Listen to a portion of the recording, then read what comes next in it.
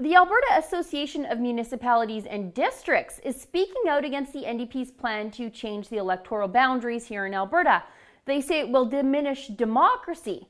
This group that represents Alberta's rural communities and 69 counties is very concerned that the new sizes of the proposed ridings will make representing people in those areas nearly impossible. Let's go back in history a little bit though. The NDP convened a panel in October of 2016 called the Alberta Electoral Boundaries Commission. And their interim report was just finished earlier in June. It's long, it's wordy, it's boring. I read it so you didn't have to. But what you need to know right now is that a panel advised fewer but much larger rural ridings in Alberta and a couple more urban ones. For example, the Commission proposes taking seven southern Alberta ridings held by either Wildrose or PCs and turning them into five ridings. In fact, the newly proposed riding of Strathmore Drumheller, it's going to be Frankenstein out of the current riding of Strathmore Brooks and Drumheller Stettler, would be three and a half hours across if you had to drive it and it would be nearly 36,000 square kilometers in size, so bigger than Belgium and just a tad smaller than the Netherlands. And we know the NDP will certainly adopt this report saying Alberta needs to change to reflect the growing urban population. And so riding boundaries will have to be tinkered with, tinkered with drastically. I'm sure you get the gist, though, of what's going on here.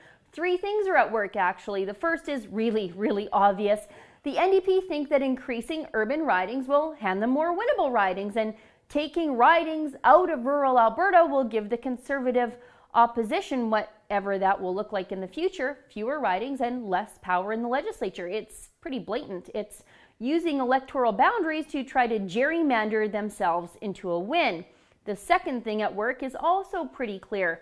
Those conservative voters in rural Alberta just won't shut up when the NDP asks them to those rural voters that, well, they weren't quiet enough when the NDP attacked their farms with Bill 6. They won't quit complaining about how the carbon tax will take money out of their farms' bottom lines. This is what rural Alberta gets when they get too loud. They get their voices in the legislature given away to someone else. And the third thing at work is a little more, what's the right word here? Clandestine?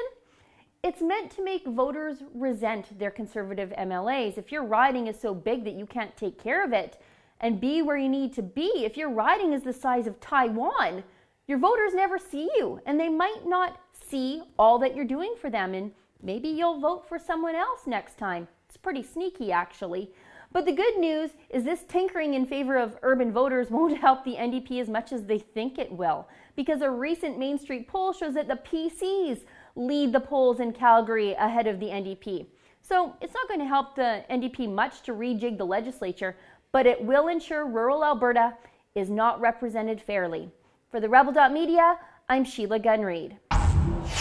While the rest of the media talks about what the NDP are doing, I'll tell you why they're doing it. To never miss a story, be sure to subscribe to our new Rebel Canada YouTube page.